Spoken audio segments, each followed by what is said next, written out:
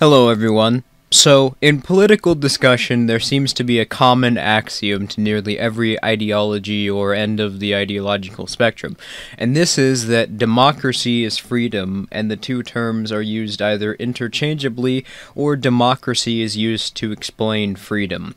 Literally, if you Google freedom, democracy is listed as a synonym.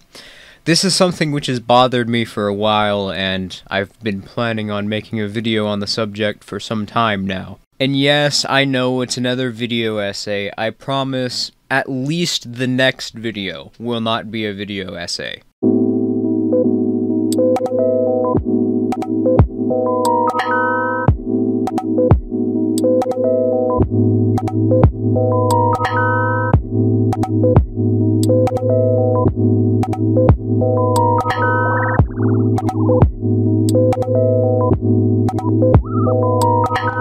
So, the best place to begin on this subject is simply to start by defining our terms. Well, freedom has basically become a meaningless buzzword at this point in mainstream debate used by everyone to describe their own ideological goals, regardless of how limiting to the individual they are. People who advocate for communism describe oppressing free association and stealing from people as freedom. People who advocate for more state influence over borders describe that as freedom. So, what is freedom and what makes someone free? Well, freedom, by description, can be best defined as having individual autonomy, and as a result, individuals must have the right to self ownership. Not only does this need to be a standard in order to have freedom, but this also needs to be a standard to have justice, since if someone doesn't have ownership over their own actions, it would be impossible to argue that they have determinism, or that they would have rights to begin with, and therefore, not only could they not be held accountable for their own actions if they wronged someone else, but also anything could happen to them, and no one else would be able to be held accountable for that as well. So this can't be the case, and you also can't own other people because in order to do that, you would need to establish the standard that other people don't have self ownership, which is self evidently a contradiction and therefore cannot exist in a society that has justice. So, according to this, freedom and justice are inseparable. And also, by acknowledging this, you must inherently reject the concept of a state or a centralized political authority because the state operates as a parasitic ruling class which forces us to associate with it, steals from us, monopolizes the market so we're forced to associate under its terms, and gives itself bailout, kills and kidnaps us, and justifies its actions with artificial and made up excuses, stops us from traveling freely, just to name a few things. And the legislators do all of this by setting a different standard for themselves than anyone else.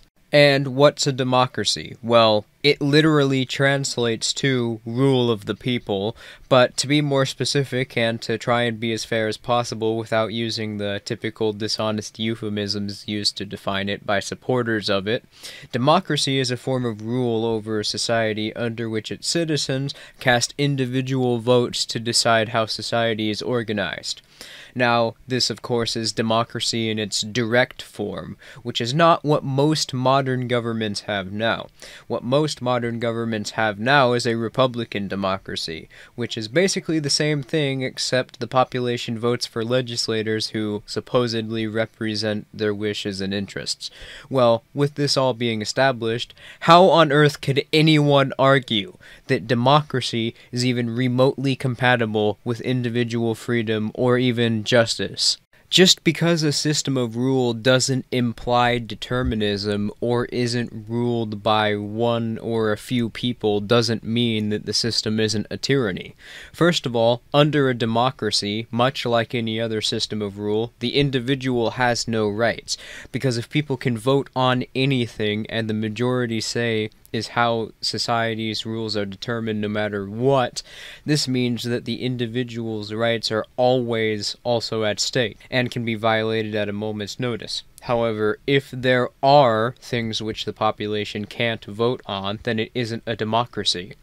But in either case, something becomes apparent to you once you think about the implications of what's actually being proposed. What actually binds you to the decisions made by the vote of the collective, and what will they do if you refuse despite the majority voting in opposition to our rights? Well, there is nowhere in which you and I agree to be part of that democratic system. No proof that anyone ever agreed for that matter. There's no consensual agreement and therefore no one can argue that the system is consensual. But what about people who vote? Well, people are voting to take their rights away and are voting against their own interest, the interest of the individual. Either way, they're forced to deal with the outcome. So, some people vote in defense of their own rights, but this still isn't consensual because they're voting to try and stop their rights from being violated. This doesn't mean that they consent. This, in principle, is no different than kidnapping two people, putting them in a cage, and having them fight with each other until one of them dies. And before someone says it, no, there is no such thing as implicit or tacit consent.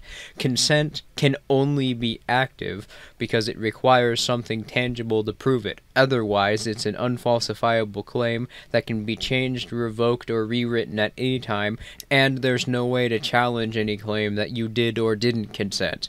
And what happens if you refuse to accept the majority vote? Well, of course, you'll be held at gunpoint and forced into accepting it with the threat of coercion, because without without force to back it up, the Democratic vote is meaningless. Keep in mind that, of course, that you're born into this system and you have no choice on the matter, no proof you ever consented. The system can do whatever it wants to you since there's no conditions to your agreement, and if you don't go along with what it says, you'll be fined, imprisoned, or murdered. Yeah! Freedom! I mean, I don't think many people actually think that hard about democracy or what they're advocating for. Rule of the people doesn't mean that you're free.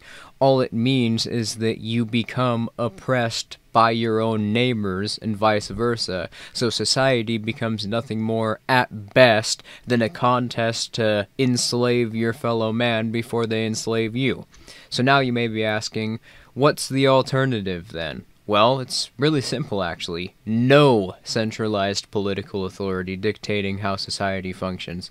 People operate voluntarily on mutually agreed upon terms, people secure their own rights, and if people disagree with how the system operates and want an alternative, they spread their opinions, then they can get together with like minded individuals and establish a private commune where they can compete with the rest of society. No coercion required, no state, total freedom, and justice.